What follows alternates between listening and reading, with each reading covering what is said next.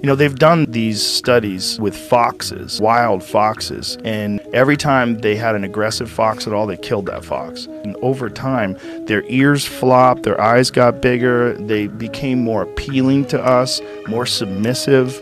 They basically became dogs over a very short period of time. That's probably what happened with wolves. The wolves that realized, like, hey, you know, it's hard out there, you know, running a pack and being an alpha and getting cast out and like, maybe I could just get near these other things Hmm. and I could get a little bit of their leftovers. Like if they do really well, like maybe they get a buffalo or something like that, they, they kill a bison, that's a large animal. They're not going to be able to eat it all. They're going to leave like a little bit for me. And they're probably not going to eat the bones. And wolves crush bones. And so, like, maybe they sort of develop this, this sort of relationship. They can be our friend, they can get food, they don't have to hunt. And then we use them to protect the outer perimeter and to keep bears out and things like that.